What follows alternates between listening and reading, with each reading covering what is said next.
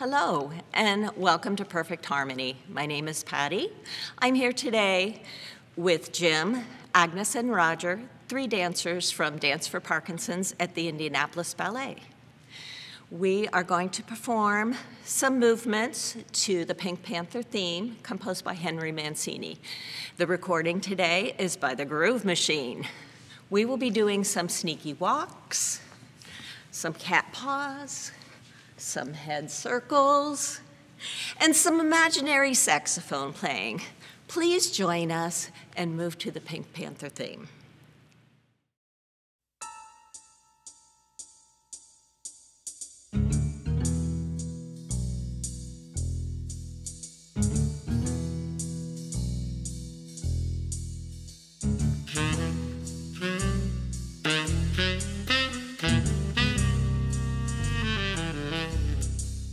Thank you.